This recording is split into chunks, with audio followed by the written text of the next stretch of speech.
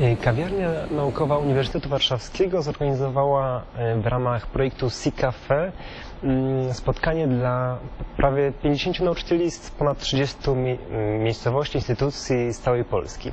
W ciągu dwóch miesięcy zorganizują oni oranżerię naukową w formie różnych form dyskusji i potem pod koniec maja spotkają się na finałowej wielkiej oranżerii naukowej.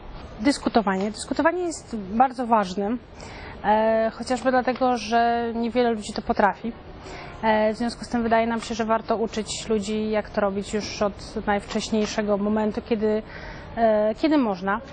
E, w związku z tym proponujemy naszym uczniom w szkole i w ośrodkach pozaszkolnych, żeby mimo zajętego harmonogramu i mimo e, ogromnej ilości zajęć, e, żeby poświęcili e, chwilę, żeby się przygotować do dyskusji z nami, żeby pomyśleć nad, e, głębiej nad rzeczami, które ich interesują, e, zarówno stricte naukowymi, jak i niekoniecznie, e, po to, żeby mogli się razem spotkać, porozmawiać, porozmawiać w sposób kulturalny, uporządkowany, e, żeby być może dojść do jakichś wniosków i żeby się dobrze bawić. I oranżerie właśnie temu, temu służą i wydaje mi się, że jest to bardzo dobry projekt, który mam nadzieję będzie angażował coraz więcej ludzi.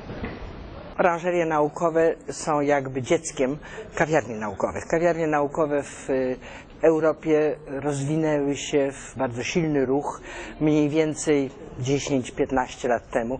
W Polsce prowadzimy pierwsze kawiarnie od 12 lat. Y, Idea kawiarni naukowych dla ludzi no raczej dorosłych.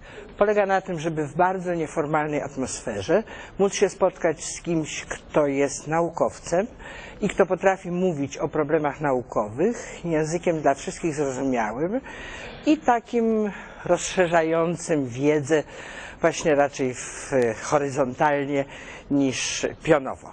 Y, To się sprawdza. Przychodzi y, pewna grupa ludzi y, zmieniających się w zależności od tematu i te spotkania są miłe i pouczające. W przypadku kawiarni naukowych spotkałam się wielokrotnie z wdzięcznością ludzi starszych, którzy mówią, że dla seniorów w Polsce jest mało propozycji, ale ja myślę, że dla juniorów w Polsce też jest mało propozycji e, takich rozwijających, uczących społecznego zachowania i dlatego mam nadzieję, że oranżerie naukowe jakoś się też rozwiną i e, będzie z tego, będziemy mieli z tego pożytek.